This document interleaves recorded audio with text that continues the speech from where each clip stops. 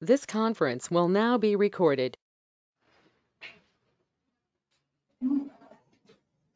Today we'll discuss about, uh, we'll just revise about rhinosporidiosis, cysticercosis and mother of. Okay, rhinos, this, this has already been discussed to you and this, this is just a revision class. Rhinosporidiosis has been defined as a chronic granulomatous disease characterized by production of polyps and other manifestations of hyperplasia of nasal mucosa. Okay, the etiological agent is Rhinosporidium seeberi. It is initially believed to be a sporozoan classified under fungus. Okay, and recently placed under trips of aquatic pros, protistan parasites. PCR tests have not been demonstrated, have not been demonstrated fungal proteins. Okay. Um, more than 90% of cases have been reported from India and Sri Lanka, Madurai, uh, okay, and various zones of Tamil Nadu. And transmission is probably due to taking bath in common ponds. And the physical characteristics of water in the ponds are the reasons for endemicity, presence of synergistic aquatic organisms and genetic predisposition in patients affected and post immunity. Okay, what is the life cycle? Spore is the basic infecting unit. It is about 7 microns in size and also known as sphaerule. It has clear cytoplasm with 15 to 20 vacuoles filled with food material. It is enclosed in a chitinous membrane found only in connective tissue spaces and is rarely intracellular. These spores start to increase in size at 50 to 60 micron size. Granules start to appear. Nucleus prepares for cell division. Mitosis occurs. Uh, and at seventh division, size becomes 100 microns. Fully mature sporangium is 150 microns. Mature spores are found in the center and immature ones at the periphery. Okay. Mm. Trophozoite, which is 6 to 100 microns. It has single nucleus at 6 micron stage or multiple nuclei at 100 micron stage. Lipid granules are seen in the cytoplasm. Intermediate sporangium is 100 to 150 microns in diameter. It has bilamellar cell wall, outer chitinous and inner cellulose. Immature spores are seen within the cytoplasm. There are no mature spores seen inside the cytoplasm. Okay. Mm. So this is the life cycle of uh. You have multiple spores. And clinical classification classified as nasal, nasopharyngeal, mixed, bizarre or malignant rhinosporidiosis. Common sites are in nose, it is about 78%. Most common in nose, nasopharynx 68%, tonsils 3%, eye 1%, skin very rare. What are the features of nasal sporidiosis? Lesions of polypoidal, red and granular. Lesions may be multiple, pedunculated and friable. Surface is studded with whitish dots, that is sporangia. Nasal lesions highly vascular and bleeds on touch. The whole mass could be seen to be covered with mucus secretion. The lesion is restricted to nasal mucous membrane and does not cross the mm, mucocutaneous junction.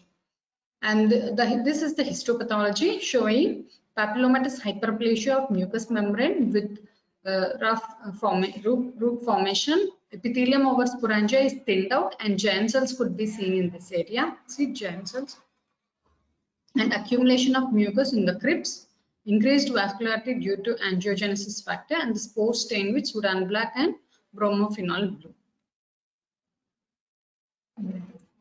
And features of nasal sporidiosis is mm, chronicity, recurrence, and dissemination. Reasons for ethnicity, mm, chronicity, antigen sequestration, antigenic variation, immune suppression, immune distraction, immune deviation, and binding of host immunoglobulins. Treatment is surgery and dapsone for 100 mg per day for six months. So this is about rhinosporidiosis.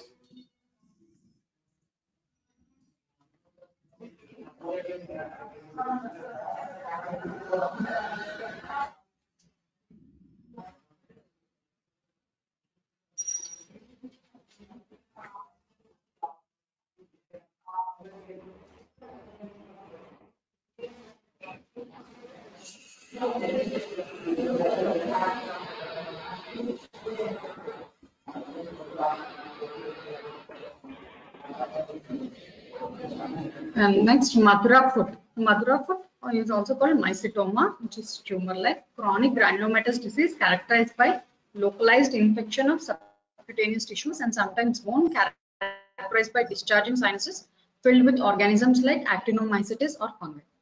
Okay. History Gill first described the, this disease in the Madura district of India, hence the term Madura foot. And what is the pathophysiology? Typically present in agricultural workers, hands, shoulders, and back from carrying contaminated vegetation and other burdens. The individuals who, who walk barefoot in dry, dusty conditions, people who work in rural areas where they are exposed to uh, acacia trees or cactus thorns containing the etiological agents. Spread occurs through skin, fascial planes, and can involve the bone. Two-thirds arise on the foot, but can involve the hands, back, or shoulders. Following initial injury, the disease follows a slow chronic course over many years with painless swelling and intermittent discharge of pus. There may be a deep itching sensation. Pain may occur due to secondary bacterial infection or bone invasion. After some years, massive swelling of the area occurs with induration, skin rupture, and sinus tract formation. As the infection spreads, old sinuses close and new ones open. And this is the sign, uh, picture showing sinus discharge and Madura foot mycetoma, it, is, it may be due to fungi, that is mycetoma or due to bacteria or actinomycetoma. Due to mycetoma, which is 40% and due to bacteria, actinomycetoma is more common, 60%. Actinomycetoma may be due to actinomas, Actinomadura madurae, Actinomadura pelletieri, Streptomyces somaliensis, and Nocardia species. Eumycetoma is often due to Madurella mycetoma and others. And this is the Madura foot showing swollen foot with draining sinuses. And sections show fungi invading subcutaneous bones also may be involved. Coatic granules. So seen in Madurella mycetosis uh, differs in various uh, subtypes.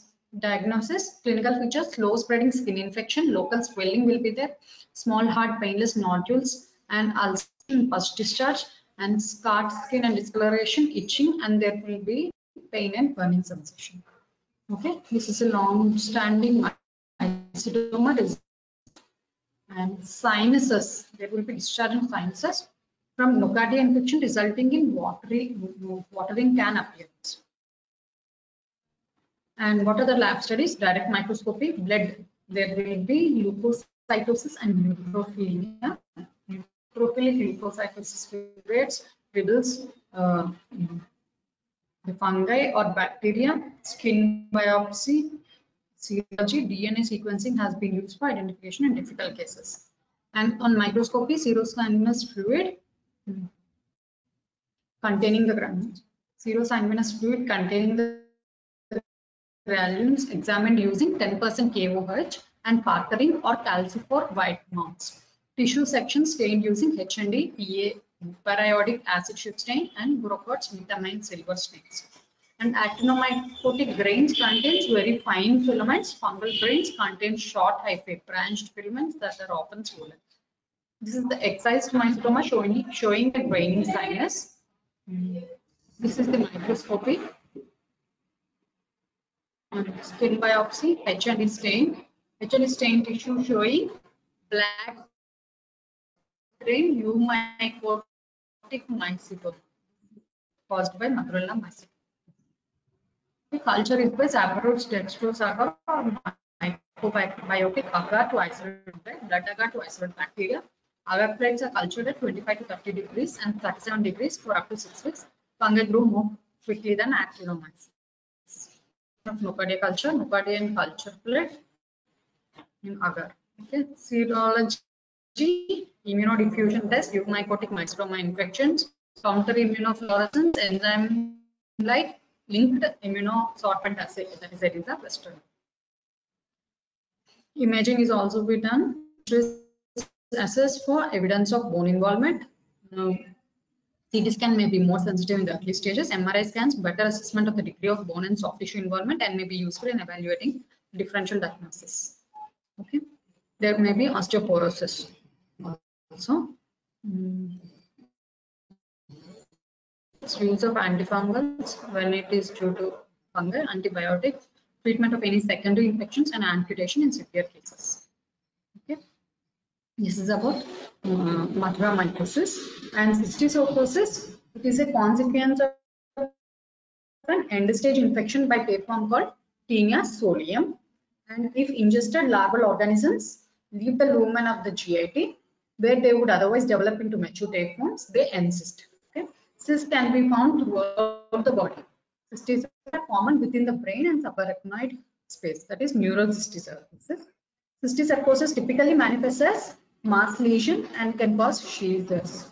Symptoms can intensify when the encysted organism dies and after therapy. The organism is with smooth lining.